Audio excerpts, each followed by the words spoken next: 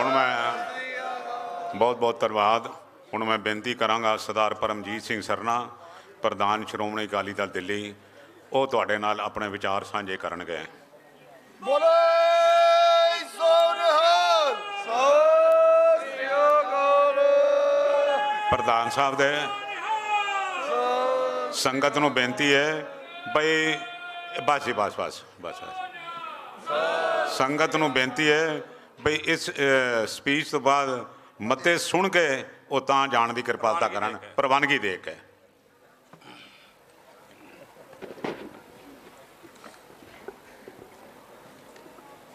ਪਰਮ ਸਤਿਕਾਰਯੋਗ ਮੇਰੇ ਸਾਹਮਣੇ ਬੈਠੇ ਦਿੱਲੀ ਦੀਆਂ ਪ੍ਰਤਿਸ਼ਠ ਸ਼ਖਸੀਅਤਾਂ ਮੰਚ ਤੇ ਬੈਠੇ ਸਾਡੇ ਸਾਥੀ ਔਰ ਸਾਡੇ ਮੁੱਖ ਮਾਨ ਸ਼ਾਹ ਸਾਹਿਬ, ਸਰਦਾਰ ਕੇਸੀ ਸਿੰਘ ਜੀ, ਤੁਲਸੀ ਜੀ, ਭਾਈ ਮੋਕਮ ਸਿੰਘ ਜੀ, ਭਾਈ ਜਫਰਵਾਲ ਜੀ। ਵਾਹਿਗੁਰੂ ਜੀ ਕਾ ਖਾਲਸਾ, ਵਾਹਿਗੁਰੂ ਜੀ ਕੀ ਫਤਿਹ। ਮੈਂ ਆਪਣੀ ਗੱਲ ਸ਼ੁਰੂ ਕਰਨ ਤੋਂ ਪਹਿਲਾਂ ਜਿਹੜੀ ਗੋਡਾ ਚੁੱਕਣ ਦੀ ਗੱਲ ਹੈ, ਬਾਅਦ 'ਚ ਕਰਾਂਗਾ, ਮੈਂ ਉਹਨੇ ਗੋਡੇ 'ਚ ਹੀ ਨਾ ਫਸ ਜਾਵਾਂ। ਇਸ ਵਾਸਤੇ ਮੈਨੂੰ ਕਹਿ ਦੇਣਾ, ਮੈਂ ਜ਼ਰੂਰ ਜਵਾਬ ਦਿਆਂਗਾ। ਗੱਲ ਹੈਗੀ ਕਿ ਜਿਹੜੀ ਘਟਨਾ ਸਨ 15 ਤੋਂ ਸ਼ੁਰੂ ਹੋਈ, ਉਹ ਇੱਕ ਕਿਸਮ ਦਾ ਐਂਡ ਸੀ, ਜੋ ਸਿੱਖਾਂ ਦੇ ਨਾਲ ਜ਼ੁਲਮ, ਸਿੱਖਾਂ ਦੇ ਨਾਲ ਜਸਤੀਆਂ, ਆਪਣੀ ਰਾਸੀ ਤਾਕਤ ਲੈਣ ਲਈ, ਧਾਰਮਿਕ ਸ਼ਕਤੀ ਰਾਹੀਂ ਸਾਰੀਆਂ ਲੀਡਰਸ਼ਿਪ ਨੂੰ ਇਹਨਾਂ ਨੇ ਖਤਮ ਕੀਤਾ ਹੈ। ਮੇਰੇ ਕੋਲ ਤਾਂ ਦੇਖੋ ਗੱਲ ਹੈਗੀ ਕਿ ਇਹ ਸਾਰਾ ਇਤਿਹਾਸ ਮੇਰੀਆਂ ਅੱਖਾਂ ਦੇ ਸਾਹਮਣੇ ਹੈ ਸਾਹਮਣੇ ਇਸ ਤਰ੍ਹਾਂ ਹੈ ਕਿ ਸਾਡਾ ਪਰਿਵਾਰ ਸ਼ੁਰੂ ਤੋਂ ਅਕਾਲੀ ਹੈ। ਇਸ ਵਾਸਤੇ ਜਿਤਨੀ ਸਮੁੱਚੀ ਲੀਡਰਸ਼ਿਪ ਸੀ, ਉਹ ਸਾਡੇ ਗ੍ਰਹਿ ਵਿਖੇ ਮੇਰੀ ਆਪਣੀ ਯਾਦ ਦੇ ਵਿੱਚ ਮਾਸਟਰ ਜੀ ਤੋਂ ਲੈ ਕੇ ਅੰਤ ਤੱਕ ਸਾਰਿਆਂ ਦੇ ਨਾਲ ਸੰਪਰਕ ਨਿੱਜੀ ਤੌਰ ਤੇ ਰਹਿਣ, ਸਾਰਿਆਂ ਨਾਲ। ਪਰ ਸਿੱਖਾਂ ਦੀ ਬਦਕਿਸ਼ਤੀ ਇਹ ਰਹੀ ਕਿ ਐਮਰਜੈਂਸੀ ਤੋਂ ਬਾਅਦ ਐਮਰਜੈਂਸੀ ਲਵਾਉਣ ਵਿੱਚ ਵੀ ਸਿੱਖਾਂ ਨੂੰ ਇਹ ਮੈਂ ਗੱਲ ਕਹਾਂਗਾ ਤੇ ਗੱਲ ਹੋਰ ਪਾਸੇ ਜਾਏਗੀ। ਪਰ ਮੈਂ ਇਤਿਹਾਸ ਦਾ- ਦੱਸਣਾ ਚਾਹੁੰਦਾ ਵਾਂ, ਸਿੱਖਾਂ ਨੂੰ ਉਸ ਵਕਤ ਸਭ ਕੁਝ ਮਿਲ ਰਿਹਾ ਸੀ। ਭਾਈ ਮੋਹਕਮ ਸਿੰਘ ਜ਼ਰੂਰ ਜਾਣਦੇ ਹੋਣਗੇ, ਭਾਵੇਂ ਛੋਟੇ ਹੋਣਗੇ। ਪਰ ਇਸ ਨੇ ਇਸ ਵਾਸਤੇ ਨਹੀਂ ਲਿਆ ਕਿ ਮੈਂ ਮੁੱਖ ਮੰਤਰੀ ਨਹੀਂ ਬਣਨਾ, ਮੁੱਖ ਮੰਤਰੀ ਤੇ ਸਮਝੌਤੇ ਟੋੜਾ ਬਣੇਗਾ। ਐਮਰਜੈਂਸੀ ਲਵਾਈ। ਐਮਰਜੈਂਸੀ ਤੋਂ ਬਾਅਦ ਫਿਰ ਮੁੱਖ ਮੰਤਰੀ ਬਣੇ। ਮੁੱਖ ਮੰਤਰੀ ਬਣਨ ਤੋਂ ਬਾਅਦ ਸਭ ਤੋਂ ਪਹਿਲਾ ਜਿਹੜਾ ਸਿੱਖਾਂ ਤੇ ਜ਼ੁਲਮ ਦੀ ਦਾਸਤਾਨ ਸ਼ੁਰੂ ਹੋਈ, ਉਹ ਇਹਦੇ ਰਾਜ ਚ ਹੋਈ ਜਦ ਅੰਮ੍ਰਿਤਸਰ ਦੇ ਵਿੱਚ 13 ਨੇ ਨਿਹੱਥੇ ਸਿੰਘਾਂ ਦੇ ਉੱਤੇ ਇਹਨਾਂ ਨੇ ਗੋਲੀਆਂ ਚਲਾ ਕੇ ਸ਼ਹੀਦ ਕੀਤਾ। ਤੇ ਨਰਕਧਾਰੀ ਬਾਬੇ ਗੁਰਚਰਨ ਨੂੰ ਖੁਸ਼ ਕੀਤਾ ਤੇ ਉਸ ਨੂੰ ਆਪਣੀਆਂ ਕਾਰਾਂ ਦੇ ਵਿੱਚ ਲਿਆ ਕੇ ਤੇ ਦਿੱਲੀ ਪਹੁੰਚਾਇਆ। ਪਹਿਲਾਂ ਤਾਂ ਕਿਹਾ, ਕਰਨਾਲ ਤੱਕ ਛੱਡ ਕੇ ਆਵਾਂਗੇ, ਅੱਗੋਂ ਹਰਿਆਣਾ ਸ਼ੁਰੂ ਹੋ ਜਾਏਗਾ, ਫਿਰ ਦਿੱਲੀ ਆਇਆ। ਅੱਜ ਉੱਥੇ ਕਿਸੇ ਨੂੰ ਸਜ਼ਾ ਮਿਲੀ। ਸਜ਼ਾ ਦਿੱਤੀ ਗਈ ਭਾਈ ਰਣਜੀਤ ਸਿੰਘ ਵੱਲੋਂ ਤੇ ਉਹਨਾਂ ਦੇ ਸਾਥੀਆਂ ਵੱਲੋਂ। ਸਜ਼ਾ ਦਿੱਤੀ ਗਈ। 1978 ਦੇ ਵਿੱਚ ਮੁੱਖ ਮੰਤਰੀ ਬਣਨ ਤੋਂ ਬਾਅਦ 81 ਦੇ ਵਿੱਚ ਇਹਨਾਂ ਦੀ ਸਰਕਾਰ ਟੁੱਟੀ ਔਰ ਸਰਕਾਰ ਉਹਨਾਂ ਨੇ ਤੋੜੀ ਜਿਨ੍ਹਾਂ ਨੇ ਉਸ ਨੂੰ ਮੁੱਖ ਮੰਤਰੀ ਬਣਾਇਆ। ਜੋ ਔਰ ਅਕਾਲੀ ਦਲ ਦੇ ਪ੍ਰਧਾਨ ਨੇ ਛੰਗਾਣੀ ਕਮਿਸ਼ਨ ਬੈਠਾ ਸੀ, ਜਿਹਦੇ ਉੱਤੇ ਗਵਾਹੀ ਦਿੱਤੀ ਕਿ ਪੰਜਾਬ ਦਾ ਸਭ ਤੋਂ ਕਰਪਟ ਔਰ ਬੇਈਮਾਨ ਪ੍ਰਕਾਸ਼ ਸਿੰਘ ਬਾਦਲ ਹੈ। ਪਰ ਇਸ ਦੀ ਪਿੱਠ ਪਿੱਛੇ ਕੌਣ ਖੜਾ ਸੀ? ਮੈਂ ਮਾਫ ਕਰਨਾ, ਮਾਫੀ ਮੰਗਣਾ ਚਾਹੁੰਦਾ। ਬਈ ਕਈਆਂ ਨੇ ਕਿਹਾ ਕਿਸੇ ਦਾ ਜ਼ਿਕਰ ਨਾ ਕਰੀ, ਪਰ ਇਤਿਹਾਸ ਦੇ ਵਿੱਚ ਜ਼ਿਕਰ ਜ਼ਰੂਰੀ ਹੈ। ਉਹਨਾਂ ਦੀ ਪਿੱਠ ਤੇ ਖੜਾ ਸੀ ਉਸ ਵਕਤ ਦਾ ਜਨਸੰਘ, ਜਿਨ੍ਹਾਂ ਨੇ ਐਮਰਜੈਂਸੀ ਦਾ ਮੋਰਚਾ ਲਵਾਇਆ। ਗੱਲ ਬੜੀ ਲੰਬੀ ਹੈ, ਪਰ ਮੈਨੂੰ ਸਿਹਾਰੀ ਬਿਹਾਰੀ ਤੱਕ ਦੀ ਗਾਥਾ ਜਿਹੜੀ ਹੈ ਉਹ ਪੂਰੀ ਤਰ੍ਹਾਂ ਯਾਦ ਹੈਗੀ, ਕਿਉਂਕਿ ਮੇਰੇ ਸਾਹਮਣੇ ਬੀਤੀ ਹੈ। ਉਸ ਮੋਰਚਾ ਲਵਾਉਣ ਤੇ ਬਾਅਦ ਉਹਨਾਂ ਨੇ ਕਿਹਾ ਵੀ ਸਾਡਾ ਹੁਣ ਲੀਡਰ ਹਮੇਸ਼ਾ ਪੰਜਾਬ ਦੇ ਵਿੱਚ ਪ੍ਰਕਾਸ਼ ਸਿੰਘ ਬਾਦਲ ਰਹੇਗਾ। ਔਰ ਪ੍ਰਕਾਸ਼ ਸਿੰਘ ਬਾਦਲ ਨੇ ਉਹਨਾਂ ਦੀਆਂ ਸਾਰੀਆਂ ਸ਼ਰਤਾਂ ਮੰਨੀਆਂ। ਕਹਿੰਦਾ ਜੀ, ਸਭ ਤੋਂ ਵੱਧ ਤਾ ਸਿੱਖ ਕੌਮ ਨੂੰ ਮੈਂ ਲਾਵਾਂਗਾ। ਤੁਸੀਂ ਮੇਰੇ ਤੇ ਭਰੋਸਾ ਰੱਖੋ। ਅੱਜ ਅੱਜ ਤੋਂ 38 ਸਾਲ ਪਹਿਲਾਂ ਜਿਹੜਾ ਵਾਅਦਾ ਇਹਨਾਂ ਨੇ ਉਸ ਵਕਤ ਦੀ ਜਨਤਾ ਨੂੰ ਦਿੱਤਾ ਸੀ, ਉਹਦੇ 'ਚ ਗਲਤ ਹੈ ਤਾਂ ਦੱਸ ਦਿਓ ਸਾਨੂੰ। ਕਿਹੜਾ ਕਿਹੜਾ ਨੁਕਸਾਨ ਹੈ ਜਿਹੜਾ ਇਹਨਾਂ ਨੇ ਨਹੀਂ ਕੀਤਾ? ਕਿਹੜਾ ਕਿਹੜਾ ਨੁਕਸਾਨ ਹੈ? 82 ਦੇ ਮੋਰਚੇ ਕਿਸ ਵਾਸਤੇ ਲਾਏ ਗਏ? ਧਰਮਯੁੱਧ ਮੋਰਚਾ ਕਿਸ ਵਾਸਤੇ ਲਵਾਇਆ ਗਿਆ? ਵੀ ਇਹ ਅਕਾਲੀ ਲੀਡਰਸ਼ਿਪ ਮੋਰਚੇ ਲਾਵੇ, ਇਹ ਫੇਲ ਹੋਣ ਤੇ ਫਿਰ ਵਾਗਡੋਰ ਮੇਰੇ ਹੱਥ ਵਿੱਚ ਆਵੇ। ਯਾਦ ਹੈ ਭਾਈ ਮੋਕਮ ਸਿੰਘ ਉਹਨਾਂ ਨੂੰ? ਜਦ ਸਮਝੌਤਾ ਆਇਆ, ਇਹ ਨਸ ਗਏ ਸਨ। ਪਰ ਦੂਸਰੇ ਦਿਨ ਜਿਹੜੇ ਸੰਤ ਨੇ ਕਿਹਾ, ਤੂੰ ਮੁੱਖ ਮੰਤਰੀ ਤੇ ਤੂੰ ਬਣੇਗਾ। ਤੇ ਉਸੇ ਸਮਝੌਤੇ ਤੇ ਮੋਹਰ ਲੱਗਤੀ ਉਸੇ ਸਮਝੌਤੇ ਤੇ ਮੋਹਰ ਲਾਤੀ, ਕਿਉਂਕਿ ਮਕਸਦ ਹੋਰ ਕੁਝ ਨਹੀਂ। ਉਸੇ 84 ਦੇ ਵਿੱਚ ਹੋਏ ਦਰਬਾਰ ਸਾਹਿਬ ਦੇ ਅਟੈਕ ਦੇ ਉੱਤੇ ਇਸ ਨੇ ਕੀ ਕੀਤਾ ਜੀ? ਇਸਨੇ ਕਹਤਾ ਜੀ, ਸਾਰੇ ਫੌਜੀ ਬਗਾਵਤ ਕਰ ਜਾਓ। ਇਹ ਨਹੀਂ ਦੇਖਿਆ ਇਹਨਾਂ ਹਜ਼ਾਰਾਂ ਫੌਜੀਆਂ ਦਾ ਕੀ ਬਣੇਗਾ। ਇਹਨਾਂ ਕੋਲ ਬਗਾਵਤ ਕਰਾ ਦਿੱਤੀ। ਬਗਾਵਤ ਕਰਾਉਣ ਤੋਂ ਬਾਅਦ ਆਪ ਜੇਲ੍ਹ ਚਲ ਕੇ ਜਾ ਕੇ ਬੈਠ ਗਿਆ। ਉਹ ਅੱਜ ਤੱਕ ਫੌਜੀ ਜਿਹੜੇ ਨੇ ਉਹ ਅੱਜ ਵੀ ਰੋ ਰਹੇ ਨੇ ਵੀ ਸਾਡਾ ਨਾਲ ਇਨਸਾਫ ਦਵਾ ਦਿਓ। ਸਾਡੇ ਨਾਲ ਇਨਸਾਫ ਦਵਾ ਦਿਓ। ਔਰ ਜਿਤਨੀ ਕਤਲੋ ਗੈਰਤ ਹੋਈ ਇਸ ਤੋਂ ਬਾਅਦ ਮੈਂ ਅੱਜ ਕਹਿੰਦਾ, ਜੇ ਸਰਕਾਰ ਦਾ ਸਰਕਾਰ ਦੋਸ਼ੀ ਸੀ, ਤਾਂ ਇਸ ਦੇ ਵਿੱਚ ਬਾਦਲ ਵੀ ਉਹਦੇ ਨਾਲੋਂ ਘੱਟ ਦੋਸ਼ੀ ਨਹੀਂ ਹੈਗਾ ਬਿਲਕੁਲ। ਜਿਹੜੇ ਮਰਜ਼ੀ ਇਤਿਹਾਸਕਾਰ ਇਤਿਹਾਸ ਖੋਲ ਕੇ ਲਿਖ ਲੈਣ। ਬਾਦਲ ਨੇ 84 ਕਰਵਾਇਆ, ਫਿਰ ਉਸ ਤੋਂ ਬਾਅਦ ਜੇਲ੍ਹ ਹੋਈ, ਬਾਹਰ ਆਏ। ਭਾਈ ਮੋਕਮ ਸਿੰਘ ਨੂੰ ਪਤਾ ਹੈ, ਕਹਿੰਦਾ ਸੀ ਖਾਲਿਸਤਾਨ ਦੇ ਅਸੀਂ ਵਿਰੋਧੀ ਹਾਂ, ਪਰ ਜਦ ਲੀਡਰੀ ਜਾਣ ਵਾਲੀ ਸੀ, ਸਮਰਨਜੀਤ ਸਿੰਘ ਮਾਨ ਪ੍ਰਧਾਨ ਬਣ ਗਿਆ ਤੇ ਉਸ ਵਕਤ ਸਾਰੀਆਂ ਸਟੇਜਾਂ ਤੇ, ਖਾਲਿਸਤਾਨ ਦੀਆਂ ਸਟੇਜਾਂ ਤੇ ਦੱਸੋ ਕੌਣ ਜਾਂਦਾ ਸੀ ਮੋਕਮ ਸਿੰਘ ਜੀ? ਸਰਦਾਰ ਪ੍ਰਕਾਸ਼ ਸਿੰਘ ਬਾਦਲ। ਉਸ ਵਕਤ ਉਹ ਖਾਲਿਸਤਾਨੀ ਚੰਗੇ ਸਨ। ਪਰ ਜਿਸ ਵਕਤ ਗੱਲ ਆਈ ਬਈ ਹੁਣ ਤਾਕਤ ਅਸੀਂ ਤੈਨੂੰ ਦੇਾਂਗੇ ਇਹਨਾਂ ਨੂੰ ਖਤਮ ਕਰੇਗਾ? ਕਹਿੰਦਾ ਜੀ, ਇਹਨਾਂ ਨੂੰ ਹੀ ਖਤਮ ਕਰਾਂਗਾ। ਫਿਰ ਜੋ ਕਤਲੋ ਗੈਰਤ ਹੋਈ, ਜੋ ਕਤਲੋ ਗੈਰਤ ਹੋਈ, ਉਹ ਅੱਜ ਤੁਹਾਡੇ ਸਾਹਮਣੇ ਮੈਂ। ਹਜ਼ਾਰਾਂ ਨਹੀਂ, ਲੱਖਾਂ ਦੀ ਤਾਦਾਦ ਦੇ ਵਿੱਚ ਸਿੰਘਾਂ ਨੂੰ ਇਹ ਕਤਲ ਕਰਵਾਇਆ ਗਿਆ। ਨੌਜਵਾਨਾਂ ਨੂੰ ਸ਼ਹੀਦ ਕਰਵਾਇਆ ਗਿਆ। ਹਜ਼ਾਰਾਂ ਸਿੰਘ ਉੱਥੇ ਬਾਹਰ ਚਲੇ ਗਏ। ਕੋਈ ਪਾਕਿਸਤਾਨ ਨਸ ਗਿਆ, ਕੋਈ ਅਮਰੀਕਾ ਨਸ ਗਿਆ, ਕੋਈ ਕੈਨੇਡਾ ਨਸ ਗਿਆ। ਉਹ ਕਿਹਦੀ ਬਦੌਲਤ ਸੀ? ਅੱਜ ਇਹਦਾ ਦਿੱਲੀ ਦਾ ਪ੍ਰਧਾਨ ਕੈਨੇਡਾ ਜਾ ਕੇ ਕਵੇ ਇਹਨਾਂ ਨੂੰ, ਦਿੱਲੀ ਆ ਕੇ ਕਿ ਤੁਸੀਂ ਬੇਅੰਤ ਸਿੰਘ ਦੇ ਕੱਢੇ ਹੋਏ ਇੱਥੇ ਆ ਕੇ ਮੇਰੇ ਖਿਲਾਫ ਬੋਲਦੇ ਹੋ। ਸ਼ਰਮ ਨਹੀਂ ਆਣੀ ਚਾਹੀਦੀ ਤੁਹਾਨੂੰ? ਬੇਅੰਤ ਸਿੰਘ ਦੇ ਕੱਢੇ ਹੋਏ ਨਹੀਂ, ਇਹ ਤੁਹਾਡੇ ਤਰਸੇ ਹੋਏ।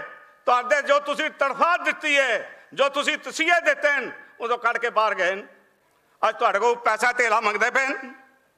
ਅਗਲਿਆਂ ਦਾ ਵਿਚਾਰ ਹੈ ਅੱਜ ਪੰਜਾਬ ਦਾ ਸਿੱਖ ਦੀ ਮੰਗ ਵੱਖਰੀ ਹੈ ਸਾਡੀ ਮੰਗ ਵੱਖਰੀ ਹੈ ਇਹਦਾ ਮਤਲਬ ਵੀ ਅਸੀਂ ਕਹਿ ਦਈਏ ਜੀ, ਇਹ ਖਾਲਿਸਤਾਨੀ ਹੋ ਗਏ। ਕਿਵੇਂ ਹੋ ਗਏ? ਕਿਹੜੀ, ਤੁਸੀਂ ਮੈਂ ਮੈਂ ਪੁੱਛਣਾ ਚਾਹੁੰਦਾ। ਅੱਜ ਇਹ ਕਹਿ ਰਹੇ ਨੇ, ਰਵਿੰਦਰ ਸਿੰਘ ਨੇ ਜ਼ਿਕਰ ਕੀਤਾ। ਹੈ ਮੈਂ ਪੁੱਛਣਾ ਚਾਹੁੰਦਾ, ਪਿੱਛੇ ਜੇ ਬਿਆਨ ਆਇਆ ਸੀ ਪਤਾ ਨਹੀਂ ਇਹਨਾਂ ਦਾ ਕਿਹੜੇ ਲੀਡਰ ਦਾ। ਅਸੀਂ ਬੜੀਆਂ ਚਿੱਠੀਆਂ ਲਿਖੀਆਂ ਜੀ, ਬੜੀਆਂ ਗੱਲਾਂ ਕੀਤੀਆਂ। ਨੇ। ਕਿਹੜੀਆਂ ਗੱਲਾਂ ਕੀਤੀਆਂ ਜੀ? ਮੈਨੂੰ ਸ਼੍ਰੋਮਣੀ ਕਮੇਟੀ ਇੱਕ ਚਿੱਠੀ ਦੱਸ ਦੇਵੇ। ਜੇ ਉਸਨੇ ਸਿੱਖਾਂ ਦੀ ਗੱਲ ਦੇ ਲਈ ਕਿਸੇ ਪਾਕਿਸਤਾਨ ਦੀ ਸਰਕਾਰ ਨਾਲ ਬਾਰੀ ਸਰਕਾਰ ਨਾਲ ਗੱਲ ਕੀਤੀ ਹੋਵੇ। ਇੱਕ ਚਿੱਠੀ ਦੱਸ ਦੇਵੇ। ਲਾਂਘੇ ਬਾਰੇ ਕੁਛ ਬਾਰੇ। ਅੱਜ ਕਹਿੰਦੇ ਜੀ ਅਸੀਂ ਲਾਂਘੇ ਬਾਰੇ ਗੱਲ ਕੀਤੀ ਹੈ। ਮੈਂ ਇਸ ਗੱਲ ਤੇ ਆਣਾ ਚਾਹੁੰਦਾ 97 98 ਤੋਂ ਬਾਅਦ ਇਹ ਜਿਹੜਾ ਰਾਜ ਕੀਤਾ ਇਹਨਾਂ ਨੇ 5 15 ਸਾਲ, ਤੁਲਸੀ ਸਾਹਿਬ ਵੀ ਕਹਿ ਕੇ ਗਏ ਨੇ, ਸਰਦਾਰ ਕੇਸੀ ਸਿੰਘ ਵੀ ਕਹਿ ਕੇ ਗਏ ਨੇ। ਅੱਜ ਉੱਥੇ ਸਿ- ਸਿੱਖੀ ਨਜ਼ਰ ਆਂਦੀ ਪਈ ਹੈ। ਕੋਈ ਗੱਲ ਹੈ? ਮੈਂ ਅੱਜ ਪਹਿਲੀ ਵਾਰ ਇਹ ਗੱਲ ਮਹਿਸੂਸ ਕਰਦਾ ਪਰ ਅੱਜ ਮੈਂ ਪਹਿਲੀ ਵਾਰ ਪਬਲਿਕਲੀ ਗੱਲ ਕਰਨਾ ਚਾਹੁੰਦਾ ਸੰਤ ਜਰਨੈਲ ਸਿੰਘ ਨੂੰ ਮਰਵਾਏ ਇਸ ਲਈ ਗਿਆ ਸੀ ਵੀ ਜੇ ਇਹ ਜਿੰਦਾ ਹੁੰਦਾ ਤੇ ਇੱਥੇ ਕੋਈ ਦਾੜੀ ਦੀ ਬੇਦਬੀ ਕਰਨ ਵਾਲਾ ਕੇਸਾਂ ਦੀ ਬੇਦਬੀ ਕਰਨ ਵਾਲਾ ਨਹੀਂ ਸੀ ਜਨਾ ਸਾਰੇ ਸਾਬਤ ਸੂਰਤ ਹੋਣੇ ਸਨ ਖੁੱਲੇ ਦਾੜ ਵਾਲੇ ਹੋਣੇ ਸਨ। ਇਹ ਕਾਤਲ ਹੈਗੇ ਕਾਤਲ ਹੈਗੇ ਸਿੱਖੀ ਦਾ ਕੰਮ ਇਹਨਾਂ ਸਿੱਖੀ ਨੂੰ ਬਰਬਾਦ ਕਰਨ ਵਾਸਤੇ ਜਿਹੜਾ ਇਹਨਾਂ ਦਾ ਪੈਕਟ ਹੋਇਆ ਉਹਨਾਂ ਦੇ ਕਾਤਲ ਹੈਗੇ ਤੁਸੀਂ ਹੈਰਾਨ ਹੋ ਜਾਓ। ਮੈਨੂੰ ਦੱਸੋ ਜਦ ਸ਼੍ਰੋਮਣੀ ਕਮੇਟੀ ਚਲੋ, ਪਹਿਲਾਂ ਵੀ ਜਥੇਦਾਰ ਅਕਾਲੀ ਲੀਡਰਸ਼ਿਪ ਉਹ ਲੈਂਦੀ ਸੀ। ਬਈ, ਅਸੀਂ ਕਦੀ ਕੋਈ ਗਲਤੀ ਕਰਦੇ ਆ ਤੇ ਇਹ ਜਥੇਦਾਰ ਸਾਡਾ ਸਿਰਾ ਨਾ ਸੋਤੇ। ਸਾਡੇ ਥੋੜਾ ਜਿਹਾ ਲਿਹਾਜ਼ਦਾਰੀ ਕਰ ਦੇਵੇ। ਮੈਨੂੰ ਯਾਦ ਹੈਗਾ, ਜਥੇਦਾਰ ਸਾਧੂ ਸਿੰਘ ਭੋਰਾ ਦੀ, ਜਥੇਦਾਰ ਗੁਰਦਿਆਲ ਸਿੰਘ ਅਜਨਵਾ ਦੀ, ਜਿਹੜੇ ਬਚਾਅ ਤੇ ਲੈਂਦੇ ਸਨ, ਪਰ ਗੱਲ ਇਹਨਾਂ ਦੀ ਮੰਨਦੇ ਨਹੀਂ ਸਨ। ਕਹਿੰਦੇ ਸਨ, ਇਹ ਗੱਲ ਕਰੋ ਤੇ ਬਚਾਵਾਂਗਾ, ਵਰਨਾ ਮੈਂ ਨਹੀਂ, ਅਸੀਂ ਨਹੀਂ ਤੁਹਾਨੂੰ ਬਚਾ ਸਕਦੇ। ਅਸਲ ਗਿਰਾਵਟ ਤਦ ਆਈ ਅਕਾਲ ਤਖਤ ਤੇ, ਜਦ ਬਾਦਲ ਦੀ ਪੂਰੀ ਤਾਕਤ ਅਕਾਲੀ ਦਲ ਦਾ ਭੋਗ ਪੈਣ ਤੋਂ ਬਾਅਦ ਇਹ ਬਾਦਲ ਦਲ ਬਣ ਗਿਆ। ਬਾਦਲ ਦਲ ਤੋਂ ਬਾਅਦ ਇਹਨਾਂ ਨੇ ਆਪਣੇ ਜਥੇਦਾਰ ਲਾਣੇ ਸ਼ੁਰੂ ਕਰ ਦਿੱਤੇ। ਇਹਨਾਂ ਨੂੰ ਜਿਹੜਾ ਡਰ ਸੀ, ਤੁਹਾਨੂੰ ਯਾਦ ਹੈ, ਸਨ 98 ਦੇ ਵਿੱਚ ਜਥੇਦਾਰ ਰਣਜੀਤ ਸਿੰਘ ਨੇ ਕੀ ਕਿਹਾ ਸੀ? ਵੀ 13 ਅਪ੍ਰੈਲ 2 1999 ਤੱਕ ਕਿਸੇ ਨੇ ਕਿਸੇ ਦੇ ਖਿਲਾਫ ਕੁਝ ਨਹੀਂ ਕਹਿਣਾ। 14 ਅਪ੍ਰੈਲ ਨੂੰ ਅਨੰਦਪੁਰ ਸਾਹਿਬ ਦਾ ਮੈਦਾਨ ਖੁੱਲਾ ਹੋਏਗਾ, ਜਿੱਥੇ ਮਰਜ਼ੀ ਜੋ ਮਰਜ਼ੀ ਕਰ ਲਓ। ਇਹ ਨਹੀਂ ਸੀ ਮੰਨਿਆ ਹੁਕਮਨਾਮਾ। ਮੈਨੂੰ ਕਹਿੰਦੇ ਨੇ, ਇਹ ਕਾਲ ਤਖਤ ਦਾ ਹੁਕਮ ਨਹੀਂ ਮੰਨਦਾ ਜੀ। ਮੈਂ ਕਿਹਾ, ਇੱਕ ਦੱਸ ਦਿਓ, ਤੇਰੀਆਂ 100 ਗੱਲਾਂ ਮੈਂ ਦੱਸ ਦਿਆਂਗਾ। 100 ਗੱਲਾਂ ਸਭ ਤੋਂ ਪਹਿਲਾਂ ਉਹਨੇ ਇਹ ਨਹੀਂ ਸੀ ਕਿਹਾ, ਤੈਨੂੰ ਛੱਡ ਦੇਾਂਗੇ ਬਈ ਤੁਹਾਨੂੰ ਲਾ ਦੇਾਂਗੇ ਉਹਨੂੰ ਕਹੀ ਜੀ ਐਜ਼ ਇਟ ਇਕੱਠੇ ਹੋ ਕੇ ਇਹ ਜਿਹੜਾ 300 ਸਾਲਾ ਖਾਲਸਾ ਦਾ ਸਿਰਜਣਾ ਦਿਵਸੇ ਮਨਾਓ। ਇਹਨਾਂ ਨੇ ਕਿਹਾ, ਸਾਰੀ ਕੌਮ ਨੂੰ ਅੰਮ੍ਰਿਤਧਾਰੀ ਬਣਾਵਾਂਗੇ। ਇਹਨਾਂ ਨੂੰ ਪੁੱਛੋ, ਆਪ ਬਣੇ ਹੋ? ਇਹ ਸਿਰਫ ਇਸ ਵਾਸਤੇ ਲੜਾਈ ਲੜੀ ਗਈ। ਕਿ ਜੇ ਕੌਮ ਨੂੰ ਅੰਮ੍ਰਿਤਧਾਰੀ ਬਣਾਤਾ ਤੇ ਸਭ ਤੋਂ ਪਹਿਲਾਂ ਸਿੱਖ ਮੇਰੇ ਗੱਲ ਪੈਣਗੇ। ਬਈ ਤੂੰ ਦੱਸ, ਸਾਨੂੰ ਤਾਂ ਅੰਮ੍ਰਿਤ ਛਕਾਇਆ ਈ ਤੇ ਆਪ ਛਕਿਆ ਹੋਇਆ ਹੀ ਤੇਰੇ ਪਰਿਵਾਰ ਨੇ ਛਕਿਆ ਹੋਇਆ ਹੈ। ਕਿੰਤੂ ਕਰਨਾ ਸੀ ਨਾ। ਇਹਨੇ ਕਿੰਤੂ ਨਹੀਂ ਕਰਨ ਦਿੱਤਾ। ਇਹ ਸਿੱਖ ਇਤਿਹਾਸ ਹੀ ਭੁੱਲ ਗਿਆ। ਇਹ ਦਸਮ ਪਾਤਸ਼ਾਹ ਦੇ ਉੱਤੇ ਕਿਹਾ ਨਾ ਉਹਨਾਂ ਨੇ, ਭਾਈ ਦਿਆ ਸਿੰਘ ਹੋਰਾਂ ਨੇ। ਬਸ ਦੱਸੋ ਜੀ, ਸਾਨੂੰ ਤੇ ਮਨਾ ਕੀਤਾ ਕਿਸੇ ਮੜੀ ਦੇ ਉੱਤੇ ਤੁਸੀਂ ਸ- ਸਜਦਾ ਨਹੀਂ ਕਰਨਾ। ਤੁਸੀਂ ਕਿਵੇਂ ਤੀਰ ਨਾਲ ਸਜਦਾ ਕਰ ਰਹੇ ਹੋ? ਫੜ ਲਿਆ ਸੀ ਨਾ ਭਾਈ ਦਿਆ ਸਿੰਘ ਨੇ। ਇਹ ਕਹਿੰਦੇ ਸਨ ਗੁਰੂ ਗੋਬਿੰਦ ਸਿੰਘ ਭਾਵੇਂ ਭਾਈ ਦਿਆ ਸਿੰਘ ਨੇ ਕਹਿ ਗਿਆ, ਪਰ ਅੱਜ ਦੇ ਯੁੱਗ ਵਿੱਚ ਕੋਈ ਐਸਾ ਸਿੱਖ ਮੈਂ ਨਹੀਂ ਰਹਿਣ ਦੇਵਾਂਗਾ ਜਿਹੜਾ ਮੈਨੂੰ ਕਿਸੇ ਗੱਲ ਤੋਂ ਟੋਕੇ। ਕਿੱਥੋਂ ਤੱਕ ਜਾਏਗਾ ਮੈਨੂੰ ਇਹ ਦੱਸੋ? ਇਹ ਗੱਲਾਂ ਸਾਰੀਆਂ ਬਰਗਾੜੀ ਦੀਆਂ ਗੱਲਾਂ ਬੇਦਬੀ ਦੀਆਂ ਗੱਲਾਂ ਸੀ, ਸਾਰਿਆਂ ਨੇ ਕੀਤੀਆਂ ਹਨ। ਮੈਂ ਕਹਿੰਦਾ, ਇੰਤਹਾ ਹੋ ਗਈ। ਤੁਸੀਂ ਮੈਨੂੰ ਦੱਸੋ ਸਾਡੇ ਵਾਸਤੇ ਇਸ ਤੋਂ ਵੱਧ ਕੋਈ ਜ਼ੁਲਮ ਹੋ ਸਕਦਾ ਹੈ? ਕਿ ਜਿਸ ਗੁਰੂ ਨੂੰ ਲੱਖਾਂ ਨਹੀਂ, ਕਰੋੜਾਂ ਸਿੱਖ ਰੋਜ਼ ਸਜਦਾ ਕਰਦੇ ਹੋਣ ਇਹਦੇ ਰਾਜ ਦੇ ਚ ਉਹ ਗੁਰੂ ਸਾਡਾ ਗ- ਗਲੀਆਂ 'ਚ ਰੋਲ ਦੇਵੇ, ਉਹਦੇ ਨਾਲੀਆਂ 'ਚ ਰੋਲ ਦੇਵੇ। ਕੋਈ ਹੈ ਗੱਲ? ਕੋਈ ਗੱਲ ਹੈ, ਰਹਿ ਗਈ? ਫਿਰ ਉਸ ਤੋਂ ਬਾਅਦ ਰੋਸ ਕਰ ਰਹੇ ਨੇ ਹੱਥੇ ਸਿੰਘਾਂ ਦੇ ਉੱਤੇ। ਇਹ ਗੋਲੀਆਂ ਚਲਾਵੇ, ਫੱਟੜ ਕਰ ਦੇਵੇ। ਅਸੀਂ ਕਿਹਾ ਤਰਸੇਮ ਸਿੰਘ ਤੇ ਹੋਰ ਨਾਲ ਸਨ ਅਸੀਂ। ਜਿਹਨਾਂ ਵਿਚਾਰਿਆਂ ਨੇ ਤੀਜੇ ਦਿਨ ਨੌਕਰੀ ਜੁਆਇਨ ਕਰ ਰਹੀ ਸੀ, ਉਹਨਾਂ ਦੀ ਰੀੜ ਤੇ ਹੱਡੀ ਗੋਲੀ ਮਾਰਤੀ ਇਹਨਾਂ ਨੇ। ਜਿਹੜੀ ਜਸਟਿਸ ਰਣਜੀਤ ਸਿੰਘ ਦੀ ਰਿਪੋਰਟ ਆਈ ਹੈ, ਕਹਿੰਦਾ ਗੋਲੀ ਚਲਾਣੀ, ਪੈਰਾਂ ਤੇ ਚਲਾਓ। ਪਹਿਲੀ ਗੱਲ ਤੇ ਹੈਗੀ, ਅਗਲਾ ਕਹਿ ਰਿਹਾ, ਡੀਸੀ ਕਹਿ ਰਿਹਾ ਵੀ ਇਹ ਪੁਰਅਮਨ ਉਹਦਾ ਨਾਂ ਕੀ ਹੈਗਾ? ਬੈਠੇ ਹੋਏ। ਇਹਨਾਂ ਤੇ ਗੋਲੀ ਚਲਾਉਣ ਦੀ, ਲਾਠੀ ਚਲਾਉਣ ਦੀ ਲੋੜ ਨਹੀਂ। ਡੀਜੀਪੀ ਸੈਣੀ ਕਹਿੰਦਾ ਜਿਹੜਾ ਸੁੱਖਾਂ ਦਾ ਦੁਸ਼ਮਣ ਹੈ। ਕਹਿੰਦਾ, ਕੋਈ ਨਹੀਂ, ਚਲਾ ਦਿਓ ਗੋਲੀ। ਮੈਂ 10 ਮਿੰਟਾਂ 'ਚ ਖਾਲੀ ਕਰਾਵਾਂਗਾ। ਜਦ ਇਹਨਾਂ ਨੇ ਨਾ ਨੁਕਰ ਕੀਤੀ, ਦਵਿੰਦਰ ਬਰਾੜ ਤੇ ਮਨਤਾਰ ਬਰਾੜ ਨੇ। ਜਸਟਿਸ ਰਣਜੀਤ ਸਿੰਘ ਕਿਹਾ, ਬੰਬਈ ਤੋਂ ਸਾਰੀਆਂ ਕਾਲਾਂ ਜਿਹੜੀਆਂ ਤੁਹਾਡੀਆਂ ਹੋਈਆਂ ਨੇ, ਮੈਂ ਮੰਗਾ ਲੀਆਂ ਇਹ ਦੇਖ ਤੂੰ ਕਾਲਾਂ ਕੀਤੀਆਂ ਨੇ। ਕਹਿੰਦਾ, ਜੀ, ਹੁਣ ਯਾਦ ਨਹੀਂ ਹੋਏਗਾ। ਕਹਿੰਦਾ ਉਹ ਗੱਲਾਂ ਵੀ ਸੁਣਾ ਦੀਆਂ ਜਿਹੜੀਆਂ ਤੁਸੀਂ ਕੀਤੀਆਂ ਹੋਈਆਂ ਨੇ। ਖੁਦ ਪ੍ਰਕਾਸ਼ ਸਿੰਘ ਬਾਦਲ ਨੇ ਟੈਲੀਫੋਨ ਤੇ ਕਰ ਕਿਹਾ ਹੈ ਬੜਾ ਚਲਾਕ। ਬਹੁਤ ਚਲਾਕ। ਅੱਛਾ, ਜੋ ਮਰਜ਼ੀ ਕਰ ਲਓ ਜੀ। ਅਗਲੇ ਅਫਸਰ ਸਮਝਦੇ ਨੇ ਕੀ ਕਰਨਾ ਚਾਹੁੰਦਾ ਹੈ। ਜੋ ਮਰਜ਼ੀ ਕਰਤੀ ਉਹਨਾਂ ਨੇ। ਸਿੱਖਾਂ ਨੇ ਸਮਝ ਲਿਆ ਹੈ। ਤਈਓ ਇਸ ਨੂੰ ਵੋਟਾਂ ਨਹੀਂ ਪਾਈਆਂ ਤੇ ਕੁੱਲ 14 ਬੰਦੇ ਆਏ ਸਨ। ਅੱਜ ਤਾਂ ਜਸਟਿਸ ਰਣਜੀਤ ਸਿੰਘ ਨੇ ਇੰਡਿਕਟ ਕਰਤਾ ਇਹਨਾਂ ਨੂੰ। ਇਹਨੂੰ ਕੋਰਟ ਨੇ ਸਜ਼ਾ ਸੁਣਾ ਦਿੱਤੀ ਹੈ। ਮੈਂ ਧੰਨਵਾਦੀ ਹਾਂ ਇਹ ਬਰਗਾੜੀ ਵਿੱਚ ਮੋਰਚਾ ਲਾ ਕੇ ਬੈਠੇ ਨੇ।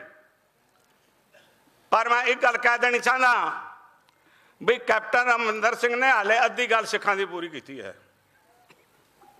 ਪੂਰੀ ਗੱਲ ਕਰਨੀ ਹੈ। ਉਹਨਾਂ ਨੇ ਕਿਹਾ ਸੀ ਵੀ ਜੇ ਦੋਸ਼ੀ ਪਾਏ ਗਏ ਤੇ ਅਸੀਂ ਇਹਨਾਂ ਨੂੰ ਛੱਡਾਂਗੇ ਨਹੀਂ। ਮੈਂ ਕਹਿ ਰਿਹਾ, ਅੱਜ ਪ੍ਰਕਾਸ਼ ਸਿੰਘ ਬਾਦਲ, ਸੁਖਬੀਰ ਕਹਿ ਰਿਹਾ, ਬਾਦਲ ਸਾਹਿਬ ਨੇ ਬਿਲਕੁਲ ਨਹੀਂ ਆਰਡਰ ਦਿੱਤੇ। ਮੈਂ ਕਿਹਾ, ਤੇਰੀ ਗੱਲ ਮੰਨ ਲਈ। ਬਾਦਲ ਸਾਹਿਬ ਹੁਣ ਪੁੱਤਰ ਨੂੰ ਬਚਾਉਣ ਦੀ ਖਾਤਰ ਆਪਣੇ ਤਾਂ ਗੱਲ ਲੈ ਰਿਹਾ ਹੈ। ਇਹ ਆਰਡਰ ਤੂੰ ਹੀ ਦਿੱਤਾ ਔਰ ਦਿੱਤਾ ਆਪਣੇ ਪਿਓ ਦੀ ਰਜ਼ਾਮੰਦੀ ਦੇ ਨਾਲ।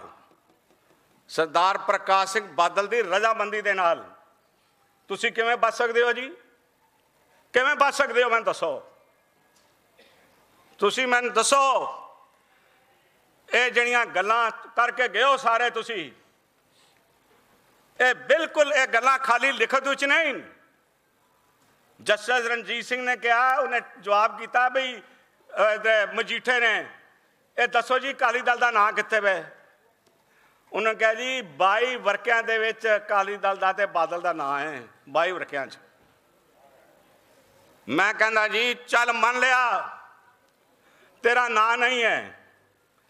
ਪਰ ਤੂੰ ਜਸਟਿਸ ਜੋਰਾ ਸਿੰਘ ਜਿਹੜਾ ਤੂੰ ਬਣਾਇਆ ਸੀ, ਉਹਦੀ ਰਿਪੋਰਟ ਨੂੰ ਤੂੰ ਕਿਉਂ ਰੱਦੀ ਦੀ ਟੋਕਰੀ ਸੁੱਟਿਆ? ਜੇ ਤੈਨੂੰ ਉਸਨੇ ਬਚਾਇਆ ਹੋਇਆ ਸੀ, ਤੇ ਤੂੰ ਜਗ ਜ਼ਾਹਿਰ ਕਰਦਾ ਨਾ। ਕਿਵੇਂ ਕਰਦਾ? ਕਿਸ ਤਰ੍ਹਾਂ ਕਰਦਾ? ਉਹਨੇ ਇੰਡਿਕਟ ਕੀਤਾ ਹੋਇਆ ਸੀ ਇਹਨਾਂ ਨੂੰ। ਆਫਟਰ ਆਲ ਜਿਹੜਾ ਬੰਦਾ ਬੈਠਾ ਉਹ ਕੁਛ ਤੇ ਗੁਰੂ ਦਾ ਭੋ ਮੰਨੇਗਾ ਕੁਛ ਤੇ ਡਰ ਆਏਗਾ ਕੁਛ ਤੇ ਗੁਰੂ ਗ੍ਰੰਥ ਸਾਹਿਬ ਦੀ ਹੋਈ ਬੇਦਬੀ ਜਿਹੜੀ ਰੋਲੀ ਗਈ ਸੜਕਾਂ ਦੇ ਉੱਤੇ ਉਸ ਦਾ ਕੁਝ ਤੇ ਅਸਰ ਪਏਗਾ ਉਸ ਸਿੱਖ ਦੇ ਉੱਤੇ ਇਹ ਮੈਂ ਇਹ ਸਮਝਦਾ ਹਾਲੇ ਤੱਕ ਇਹ ਗੱਲ ਨਾ ਇਤਿਹਾਸ ਦੇ ਵਿੱਚ ਅੱਜ ਮੱਸਾ ਰੰਗੜ ਵੀ ਕਬਰ 'ਚ ਬੈਠਾ ਹੋਇਆ ਕਹੇਗਾ ਮੇਰੇ ਤੋਂ ਵੱਡਾ ਸਿੱਖਾਂ ਨੂੰ ਕਤਲ ਕਰਨ ਵਾਲਾ ਤੇ ਉਹਨਾਂ ਨੂੰ ਗੁਰੂ ਦੇ ਕਤਲ ਕਰਨ ਵਾਲਾ ਵੀ ਬੈਠਾ ਹੋਇਆ ਸਿੱਖਾਂ 'ਚ। ਅੱਜ ਜ਼ਕਰੀਆ ਖਾਨ ਵੀ ਕਹੇਗਾ, ਉਹ ਕਹੇਗਾ, ਅਸੀਂ ਦੇ ਪਿੱਛੇ ਚਲੇ ਗਏ। ਬੇਸ਼ੱਕ ਉਹਦੀ ਕਬਰਾਂ ਕੋਲ ਚਲੇ ਜਾਓ, ਉਹ ਹੱਸਣਗੇ। ਕੋ ਜੀ, ਸਾਡੇ ਪਿਓ ਜੰਮ ਕੇ ਸਿੱਖਾਂ ਦੇ ਵਿੱਚ ਹੀ। ਸੁਣ ਲਓ, ਭਾਈ ਮੋਕਮ ਸਿੰਘ ਜੀ, ਵੀਜ਼ਾ ਮੈਂ ਲੈ ਕੇ ਦਿੰਦਾ ਉਹਦੇ ਕਬਰਾਂ ਲਾ ਕੇ ਕੰਨ ਲਾ ਕੇ ਸੁਣੋ ਔਰ ਇੱਕ ਗੱਲ ਹੋਰ ਮੈਂ ਦੱਸ ਦਿਆਂ। ਜਾਣਾ ਤੇ ਹੈ ਇਹਨਾਂ ਨੇ। ਇਹ ਤੇ ਹੈ ਨਹੀਂ ਕਿ ਜਾਣਾ ਨਹੀਂ। ਜਦ ਇਹ ਜਾਵਣ ਤੇ ਇਹਨਾਂ ਦਾ ਸੰਸਕਾਰ ਦਿੱਲੀ ਜਾਂ ਪੰਜਾਬ 'ਚ ਨਹੀਂ ਹੋਣਾ ਚਾਹੀਦਾ, ਜ਼ਕਰੀਆ ਖਾਨ ਤੇ ਮੀਰ ਮਨੂ ਦੇ ਕਬਰ ਦੇ ਨਾਲ ਇਹਨਾਂ ਦਾ ਸੰਸਕਾਰ ਕਰਨਾ ਤੁਸੀਂ। ਕਿਸੇ ਹੋਰ ਜਗ੍ਹਾ ਨਾ ਕਰਨ ਦੇਣਾ। ਮੈਂ ਸਿੱਧੀ ਗੱਲ ਕਹਿਣਾ ਚਾਹੁੰਦਾ ਖਾਲੀ ਇਹ ਨਹੀਂ। ਮਤ ਸਮਝੋ ਕਿ ਅਸੀਂ ਤੁਹਾਨੂੰ ਇਹ ਜਗਾਣ ਆਇਆ। ਇੱਕ ਇਸ਼ਤਿਹਾਰ ਨਿਕਲਦਾ ਸੀ ਤੇ ਉਹਦੇ ਉੱਤੇ ਲਿਖੀ ਲਾਈਨ ਹੁੰਦੀ ਸੀ ਅਕਾਲੀ ਦਲ ਵੱਲੋਂ। ਜੇ ਜੀਵੇ ਪਤ ਲੱਥੀ ਜਾਏ, ਸਭ ਹਰਾਮ ਜੇਤਾ ਖਿਸਕਾਏ। ਹੁਣ ਸਾਡੇ ਵਾਸਤੇ ਕਿਹੜਾ ਜੀਣ ਦਾ ਮੌਕਾ ਰਹਿ ਗਿਆ? ਕਰੋੜਾਂ ਦੀ ਤਾਦਾਦ 'ਚ ਅਸੀਂ ਸਿੱਖ ਹੋਈਏ ਤੇ ਸਾਡੇ ਗੁਰੂ ਦੀ ਬੇਦਬੀ ਕਰ ਜਾਣੇ। ਇਹਨਾਂ ਦਾ ਨਾਲ ਕੋਈ ਵੀ ਇਹਨਾਂ ਦੇ ਉੱਤੇ ਬੈਨ ਲਾਣਾ ਛੋਟੀ ਗੱਲ ਹੋਏਗੀ ਪਰ ਇੱਕ ਗੱਲ ਮੈਂ ਦੱਸ ਦਿਆਂ ਜੋ ਮਰਜ਼ੀ ਹੋ ਜਾਏ, ਜਦ ਮੈਂ ਤਕਰੀਬਨ 18 ਸਾਲ ਰਿਹਾ ਤੇ ਕਈਆਂ ਨੇ ਕਿਹਾ, ਜੀ, ਹੁਣ ਇਸ ਨੂੰ ਲਾਓ ਜੀ। ਇਹ ਦੋਵੇਂ ਭਰਾਵਾਂ ਤੋਂ ਇਲਾਵਾ ਹੋਰ ਕੋਈ ਬੰਦਾ ਹੀ ਕੋਈ ਨਹੀਂ। ਤੇ ਮੈਂ ਬੜੇ ਬੜੇ ਗੁਣੀ ਗਿਆਨੀ ਸਨ। ਮੈਂ ਕਿਹਾ, ਲਾ ਤੇ ਲਵੋਗੇ। ਅਸੀਂ ਲੱਥ ਵੀ ਜਾਣਾ ਹੈ। ਪਰ ਜੋ ਗੁਰਦੁਆਰਿਆਂ ਦੀ ਦਰਦਸ਼ਾ ਹੋਏਗੀ ਨਾ, ਜਿਹੜੀ ਅਸੀਂ ਪੰਥ ਦੀ ਗੱਲ ਕਰਦੇ ਹਾਂ, ਜਿਹੜੀ ਅਸੀਂ ਗ੍ਰੰਥ ਦੀ ਗੱਲ ਕਰਦੇ ਹਾਂ, ਸਾਡੇ ਤੋਂ ਬਾਅਦ ਕੋਈ ਪੰਥ ਦੀ ਤੇ ਗ੍ਰੰਥ ਦੀ ਗੱਲ ਨਹੀਂ ਰਹੇਗੀ। ਅੱਜ ਤੱਕ ਲੋ ਕਿਹੜੇ ਬੈਠੇ ਹੋਏ ਨੇ ਅੱਜ ਤੱਕ ਲੋ ਕਿਹੜੇ ਬੈਠੇ ਹੋਏ ਜੇ? ਮੈਂ ਤੁਹਾਨੂੰ ਦੱਸ ਦੇਣਾ ਚਾਹੁੰਦਾ, ਇਹਨਾਂ ਨੇ ਮਤਲਬ ਨਹੀਂ ਹੈਗਾ ਕਿ ਇਹ ਸਰਵਾਈਵ ਕਰ ਜਾਣ। ਪਰ ਜ਼ਿਕਰ ਕੀਤਾ, ਭਾਈ ਮੋਕਮ ਸਿੰਘ ਉਹਨਾਂ ਨੇ, ਅਸੀਂ ਸ਼੍ਰੋਮਣੀ ਕਮੇਟੀ ਤੋਂ ਲਾਵਾਂਗੇ। ਪਰ ਮੈਂ ਇਹ ਗੱਲ ਦੱਸ ਦਿਆਂ ਇਸ ਨੂੰ ਜਦ ਤੱਕ ਮਾਰ ਕੇ ਸੰਸਕਾਰ ਨਾ ਕਰ ਦੇਣਾ, ਤਦ ਤੱਕ ਇਹਨੂੰ ਮਰਿਆ ਨਾ ਸਮਝਣਾ ਉੱਠ ਜਾਏਗਾ। ਔਰ ਉਹਦੇ ਲਈ ਤੁਹਾਨੂੰ ਵਿੱਚ ਏਕਤਾ ਬੜੀ ਲੋੜ ਹੈ। ਤੁਹਾਡੇ ਡਿਫਰੈਂਸ ਆਫ ਓਪੀਨੀਅਨ ਕਿਹੜੀ ਕਥਾ ਹੋਣੀ ਚਾਹੀਦੀ ਹੈ, ਕਿਹੜਾ ਪਾਠ ਹੋਣਾ ਚਾਹੀਦਾ ਹੈ, ਨਹੀਂ ਹੋਣਾ ਚਾਹੀਦਾ, ਉਹ ਇੱਕ ਪਾਸੇ ਰੱਖੋ। ਜਦ ਤੱਕ ਭਾਈ ਪੰਥ ਪ੍ਰੀਤ ਸਿੰਘ ਢੱਡਰੀਆਂ ਵਾਲੇ, ਇਹ ਜੇ ਜਿਤਨੇ ਸੰਤ ਮੁਰ- ਮਹਾਂਪੁਰਖ ਨੇ, ਜਦ ਤੱਕ ਤੁਸੀਂ ਸਾਰਿਆਂ ਨੂੰ ਇਕੱਠੇ ਲੈ ਕੇ ਨਹੀਂ ਚਲੋਗੇ, ਤਦ ਤੱਕ ਸ਼੍ਰੋਮਣੀ ਕਮੇਟੀ ਦੀ ਜਿੱਤ ਵਿੱਚ ਸ਼ੱਕ ਰੱਖਣਾ ਹਮੇਸ਼ਾ। ਅਸੀਂ ਤਾਂ ਨਿਭਾ ਦੇਾਂਗੇ ਪਰ ਮੈਂ ਸਮਝਦਾ ਤੁਸੀਂ ਆਪ ਹੀ ਰੋਲ ਵਧਾ ਦਿਓ, ਤੁਸੀਂ ਸਾਡੇ ਨਾਲੋਂ ਜ਼ਿਆਦਾ ਬੁੱਧੀਵਾਨ ਹੋ। ਉਹ ਨਹੀਂ ਮਹਾਰਾਜ ਫਿਰ ਕਹੋਗੇ ਜੀ ਪਾਪਾ ਆਇਆ ਸਾਨੂੰ ਸਮਝਾਣ ਤੁਸੀਂ ਆਪ ਹੀ ਸਮਝਾਓ ਇਸ ਵਾਸਤੇ ਮੈਂ ਤੁਹਾਡਾ ਮਦਦਗਾਰ ਹੋਵਾਂਗਾ ਕਿੱਥੇ ਗੱਲ ਮੁੱਕੇਗੀ ਮੁਕਾਵਾਂਗਾ ਕਿਉਂਕਿ ਅਸੀਂ ਵਪਾਰੀ ਆਦਮੀਆਂ ਝਗੜਾ ਨਹੀਂ ਪਾਉਂਦੇ ਆ ਦਵਾਨੀ ਕੱਟ ਕਰ ਵੱਧ ਕਰ ਪੈਸੇ ਦੇ ਛੁੱਟੀ ਕਰ ਮੈਂ ਤੇ ਇਹ ਕਰਨ ਵਾਲਾ ਵਾਂ ਦੇਖੋ ਸਿੱਧੀ ਗੱਲ ਹੈਗੀ ਦਰਸ਼ਨ ਸਿੰਘ ਨੇ ਕਿਹਾ ਗੋਡਾ ਚੁੱਕੋ ਮੈਂ ਤੇ ਸਾਰਾ ਸ਼ਰੀਰ ਚੁੱਕਣ ਵਾਸਤੇ ਤਿਆਰ ਹਾਂ ਮੈਂ ਤੇ ਸਰੀਰ ਹੀ ਚੁੱਕਣ ਵਾਸਤੇ ਤਿਆਰ ਹਾਂ ਪਰ ਉਹਨਾਂ ਨੂੰ ਵੀ ਕਹੋ, ਆਪਣੇ ਹੰਕਾਰ ਔਰ ਤਵੱਬਰ ਤੋਂ ਬਾਹਰ ਆਵਣ। ਜਿਹੜੇ ਆਓਗੇ ਮੋਸਟ ਵੈਲਕਮ ਆਪਣੇ ਹੰਕਾਰ ਔਰ ਤਵੱਬਰ ਤੋਂ ਬਾਹਰ ਆਵਣ। ਇਸ ਵਕਤ ਜਿਹੜਾ ਗੁਰੂ ਗ੍ਰੰਥ ਸਾਹਿਬ ਦੇ ਨਾਂ ਤੇ ਉੱਤੇ ਆਪਣੀ ਹੋਮੇ ਨੂੰ ਪੱਠੇ ਪਾਉਣ ਵਾਸਤੇ ਕਹੇਗਾ, ਮੈਂ ਤਾਂ ਉਹਨੂੰ ਸਿੱਖ ਨਹੀਂ ਸਮਝਾਂਗਾ। ਬੜੀ ਸਪਸ਼ਟ ਗੱਲ ਹੈ। ਇਸ ਵਕਤ ਸਾਡਾ ਗੁਰੂ ਦਾ ਤੇ ਲਾਤਾ ਗਿਆ। ਤੇ ਅਸੀਂ ਕਹੀਏ ਜੀ, ਅੱਛਾ ਜੀ, ਇਹ ਕੰਮ ਕਰੋ ਤੇ ਉਹ ਕੰਮ ਕਰੋ। ਮੈਂ ਪਬਲਿਕਲੀ ਕਹਿ ਰਿਹਾ ਖਾਲੀ ਗੋਡਾ ਚੁੱਕਣ ਵਾਸਤੇ ਤਿਆਰ ਨਹੀਂ ਆ, ਸਾਰਾ ਸਰੀਰ ਤੁਹਾਡੇ ਵਾਸਤੇ ਛੱਡਣ ਵਾਸਤੇ ਆਓ ਸਾਂਭ ਲਓ ਜਰਾ। ਗੁਰੂ ਵਾਲੇ ਬਣ ਜਾਓ। ਸਭ ਕੁਝ ਨਿਛਾਵਰ ਕਰਨ ਵਾਸਤੇ ਅਸੀਂ ਤਿਆਰ ਹਾਂ। ਪਰ ਗੁਰੂ ਵਾਲੇ ਬਣੋ। ਤੁਸੀਂ ਕਹੋ ਮੈਂ ਧੜੇ ਬੰਦੀ ਕਰਕੇ ਬਣਾਂਗਾ ਮੈਂ ਫਲਾਣੀ ਰਾਸੀ ਪਾਰਟੀ ਦੀ ਕਰਾਂਗਾ ਬਿਲਕੁਲ ਨਹੀਂ ਕਰਨ ਦੇਵਾਂਗੇ ਇੱਥੇ ਗੱਲ ਸਿਰਫ ਗੁਰੂ ਦੀ ਹੋਏਗੀ ਪੰਥ ਦੀ ਹੋਏਗੀ ਇਸ ਤੋਂ ਇਲਾਵਾ ਕੋਈ ਗੱਲ ਨਹੀਂ ਹੋਏਗੀ। ਭਰੋਸੇ ਯੋਗਤਾ ਪੈਦਾ ਕਰੋ। ਆਪਣੇ ਵਿੱਚ ਭਰੋਸਾ ਪੈਦਾ ਕਰੋ। ਅਸੀਂ ਹਮੇਸ਼ਾ ਭਰੋਸਾ ਕਰਦੇ ਹਾਂ ਹਰ ਇੱਕ ਤੇ। ਸਾਨੂੰ ਗੁੜਤੀ ਮਿਲੀ ਹੈ ਪਰਿਵਾਰ ਚੋਂ ਭਰੋਸਾ ਕਰਨ ਦੀ। ਸਾਨੂੰ ਗੁੜਤੀ ਮਿਲੀ ਹੈ ਪਰਿਵਾਰ ਚੋਂ। ਪੰਥ ਲਈ ਆਪਾ ਵਾਰਨ ਦੀ ਹਰ ਕੁਰਸੀ ਤਿਆਗਣ ਦੀ ਕੋਈ ਲਾਲਚ ਨਹੀਂ ਹੈ। ਕਿਸੇ ਗੱਲ ਦਾ ਲਾਲਚ ਨਹੀਂ ਹੈ। ਤੁਸੀਂ ਵੀ ਆਓ। ਪਰ ਆਓ ਨਿੱਤਰ ਕੇ ਅੱਗੇ ਆਓ। ਬਗੈਰ ਸ਼ਰਤਾਂ ਦੇ ਸਾਂਭ ਲਓ ਬਿਸ਼ੱਕ ਸਾਂਭ ਸਕਦੇ ਹੋ ਤਾਂ ਸਾਨੂੰ ਕੋਈ ਨਹੀਂ। ਪਰ ਆਪਣੀ ਗੱਲ ਕਰੋ ਗੁਰੂ ਦੀ ਗੱਲ ਕਰੋ। ਇਸ ਤੋਂ ਵੱਧ ਕੋਈ ਗੱਲ ਹੋ ਸਕਦੀ ਹੈ? ਅੱਜ ਸਾਡਾ ਗੁਰੂ ਬਾਦਲ ਨੇ ਪੈਸੇ ਦੀ ਖਾਤਰ ਬਾਦਲ ਨੇ ਰਾਸੀ ਤਾਕਤ ਲੈਣ ਦੀ ਖਾਤਰ ਗੁਰੂ ਨੂੰ ਦਾਤੇ ਲਾਤਾ। ਇਸ ਤੋਂ ਵੱਡਾ ਕੋਈ ਜ਼ੁਲਮ ਤੁਹਾਨੂੰ ਸਿੱਖ ਕੌਮ ਦੇ ਇਤਿਹਾਸ ਵਿੱਚ ਮਿਲੇਗਾ? ਸ਼ੇਮ ਸ਼ੇਮ ਸ਼ੇਮ 100 ਕਰੋੜ ਪਿੱਛੇ ਗੁਰੂ ਦਾਤੇ ਲਾਤਾ। 20 ਸਾਲ ਰਾਜ ਕਰਨ ਤੋਂ ਬਾਅਦ ਗੁਰੂ ਨੂੰ ਦਾਤੇ ਲਾਤਾ। ਫਿਰ ਕਹਿੰਦੇ ਹੋ ਜੀ ਇਹ ਦਾ ਨਾਂ ਕੀ ਕਰੇ ਜੀ? ਬਿਲਕੁਲ। ਸਾਨੂੰ ਵੀ ਆਈ ਐਸਾ ਦਾ ਜੰਡ ਕਹਿੰਦੇ ਨੇ ਮੈਂ ਕਹ ਰਿਹਾ ਜੀ, ਮੈਂ ਜਿਹੜੀ ਅਰਦਾਸ ਹਜ਼ਾਰਾਂ ਲੱਖਾਂ ਗੁਰਦੁਆਰਿਆਂ ਵਿੱਚ ਸਵੇਰੇ ਸ਼ਾਮ ਹੁੰਦੀ ਹੈ, ਜਿਹੜੇ ਗੁਰਤਾਮ ਗੁਰਦੁਆਰੇ ਪੰਥ ਪਾਸੋਂ ਛੋੜੇ ਗਏ ਹਨ, ਉਹਨਾਂ ਦੇ ਖੁੱਲੇ ਦਰਸ਼ਨ ਦਿਦਾਰੇ ਦਿੱਤੇ ਜਾਣ। ਅਸੀਂ ਤੇ ਉਸ ਦਾਸ ਦੀ ਪੂਰਤੀ ਵਾਸਤੇ ਇੱਥੇ ਬੈਠੇ ਹੋਏ ਪ੍ਰੋਫੈਸਰ ਮਹਿੰਦਰ ਸਿੰਘ, ਪਿੱਛੇ ਬੈਠਾ ਹੋਇਆ ਸਰਦਾਰ ਕੁਲਦੀਪ ਸਿੰਘ। ਹੋਰ ਮਨ ਯਾਦ ਕੋ ਨਹੀਂ ਸਾਹ ਨਰਵੈਰ ਸਿੰਘ ਚਲੇ ਗਏ ਨੇ।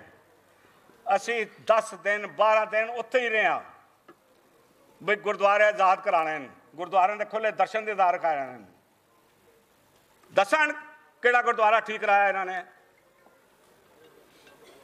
ਅੱਜ ਜੋ ਮਰਜ਼ੀ ਕਹਿ ਦੇਣ। ਇਹ ਗੱਲ ਮੈਂ ਪਬਲਿਕਲੀ ਅੱਜ ਕਹਿ ਰਿਹਾ।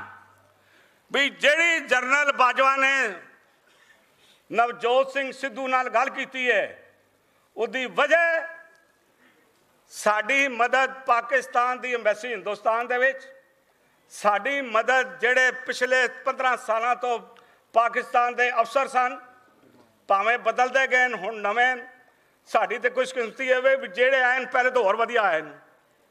ਅਕਾਫ ਬੋਰਡ ਪਾਕਿਸਤਾਨ ਸਿੱਖ ਗੁਰਦੁਆਰਾ ਪ੍ਰਬੰਧਕ ਕਮੇਟੀ ਇਹਨਾਂ ਦੀ ਗੱਲ ਜਿਹੜੀ ਸੀ ਜਨਰਲ ਬਾਜਵਾ ਕੋਲ ਪਹੁੰਚੀ ਹੈ ਤੇ ਉਹਨਾਂ ਅਫਸਰਾਂ ਨੇ ਪਹੁੰਚਾਈ ਹੈ। ਉਹਨਾਂ ਨੂੰ ਕਿੱਥੋਂ ਪਤਾ ਲੱਗ ਗਿਆ? ਹਰਵਿੰਦਰ ਸਿੰਘ ਗੱਲ ਭੁੱਲ ਗਿਆ ਹੈ। ਇਸਨੇ ਗਵਰਨਰ ਨਾਲ ਗੱਲ ਕੀਤੀ ਸੀ ਵੀ ਗੁਰਤੇ ਗੁਰੂ ਨਾਨਕ ਸਾਹਿਬ ਦਾ ਉਸ ਗੁਰਦੁਆਰੇ ਨੂੰ ਖੋਲ ਦਿੱਤਾ ਜਾਵੇ ਤੇ ਤੁਹਾਡੇ ਸਾਰੇ ਝਗੜੇ ਮੁੱਕ ਜਾਣਗੇ ਇਹ ਜਿਹੜੀ ਲੀਕ ਗੁਰੂ ਨਾਨਕ ਸਾਹਿਬ ਦੇ ਪੂਰੇ ਹੋਣ ਤੋਂ ਬਾਅਦ ਪਈ ਸੀ ਨਾ ਹਿੰਦੁਸਤਾਨ ਦੀ ਲੀਕ ਔਰ 47 ਦੇ ਵਿੱਚ, ਜਦ ਇਹ ਮਦਮ ਹੋਏਗੀ ਤੇ ਹਿੰਦੁਸਤਾਨ ਤੇ ਪਾਕਿਸਤਾਨ ਦੇ ਸਾਰੇ ਮਜ਼ਲੇ ਗੁਰੂ ਨਾਨਕ ਆਪੇ ਹੱਲ ਕਰਾ ਦੇਗਾ।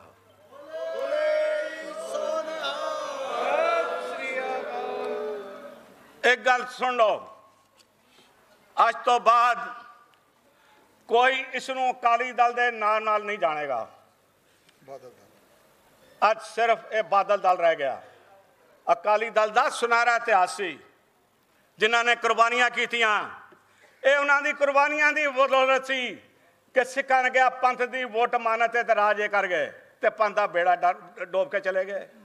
ਦੋੜਾ ਡੇਬਣ 'ਚ ਕੋਈ ਕਸਰ ਨਹੀਂ ਰੱਖੀ ਇਹਨਾਂ ਨੇ।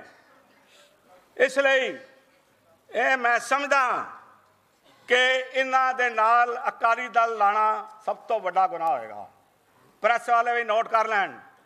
ਅੱਜ ਤੋਂ ਬਾਅਦ ਬਾਦਲ ਦਲ ਨੂੰ ਅਕਾਲੀ ਦਲ ਲਿਖੋਗੇ ਗੁਰੂ ਗ੍ਰੰਥ ਸਾਹਿਬ ਦੇ ਦੇਣਦਾਰ ਹੋ ਗਏ। ਇਹਨਾਂ ਦੀ ਤਰਫਦਾਰੀ ਦੀ ਗੱਲ ਕਰੋਗੇ ਗੁਰੂ ਦੀ ਦੇਣਦਾਰ ਹੋ ਗਏ। ਇਸ ਤੋਂ ਇਲਾਵਾ ਮੈਂ ਕੁਝ ਨਹੀਂ ਕਹਿੰਦਾ, ਇੱਕ ਵਾਰ ਫਿਰ ਬੇਨਤੀ ਕਰਨੀ ਚਾਹੁੰਦਾ, ਇਹ ਨਹੀਂ ਕਿ ਅੱਜ ਅਸੀਂ ਬਹੁਤ ਵੱਡਾ ਇਕੱਠ ਕਰ ਲਿਆ ਹੈ। ਸ਼ਾਮ ਨੂੰ ਖੁਸ਼ ਹੋ ਜਾਈਏ। ਸਾਰੇ ਮੈਂਬਰ ਘਰ ਜਾਣ ਕੋ ਜੀ, ਮੈਂ ਵੀ ਕੋਟਾ ਪੂਰਾ ਕਰਤਾ, ਮੈਂ ਵੀ ਕਰਤਾ। ਨਾ। ਇਹ ਲੜਾਈ ਅੱਜ ਤੋਂ ਸ਼ੁਰੂ ਹੈ ਦੁਬਾਰਾ। ਜਦ ਤੱਕ ਇਹ ਨਿਸ਼ਤੋ ਨਮੂਦ ਨਹੀਂ ਹੋਣਗੇ, ਭਾਵੇਂ ਦਿੱਲੀ ਕਮੇਟੀ ਹੈ, ਭਾਵੇਂ ਸ਼੍ਰੋਣੀ ਕਮੇਟੀ ਹੈ, ਭਾਵੇਂ ਹੋਰ ਸੰਸਥਾਵਾਂ, ਤਦ ਤੱਕ ਤੁਸੀਂ ਸਾਹ ਨਹੀਂ ਲੈਣਾ। ਤੁਹਾਡਾ ਆਇਆ ਸਫਲ, ਗੁਰੂ ਪ੍ਰਤੀ ਤੁਹਾਡੀ ਸ਼ਰਧਾ ਸਫਲ, ਗੁਰੂ ਪ੍ਰਤੀ ਤੁਹਾਡਾ ਸਤਕਾਰ ਸਫਲ, ਪੰਥ ਪ੍ਰਤੀ ਤੁਹਾਡਾ ਫਰਜ਼ ਸਫਲ, ਇੰਨੀ ਕੁ ਬੇਨਤੀ ਕਰਨਾ ਚਾਹੁੰਦਾ, ਕਰਦਾ ਹੋਇਆ ਫਤਿਹ ਬੁਲਾਉਂਦਾ, ਵਾਹਿਗੁਰੂ ਜੀ ਕਾ ਖਾਲਸਾ, ਵਾਹਿਗੁਰੂ ਜੀ ਕੀ ਫਤਿਹ। Bureau report, Sikh news express ਜੇਕਰ ਤੁਹਾਨੂੰ ਸਾਡਾ ਇਹ ਉਪਰਾਲਾ ਚੰਗਾ ਲੱਗਾ ਹੈ, ਤਾਂ ਇਸ ਨੂੰ ਲਾਈਕ ਕਰੋ ਸ਼ੇਅਰ ਕਰੋ ਅਤੇ ਸਾਡੇ YouTube ਚੈਨਲ ਨੂੰ ਸਬਸਕ੍ਰਾਈਬ ਕਰੋ।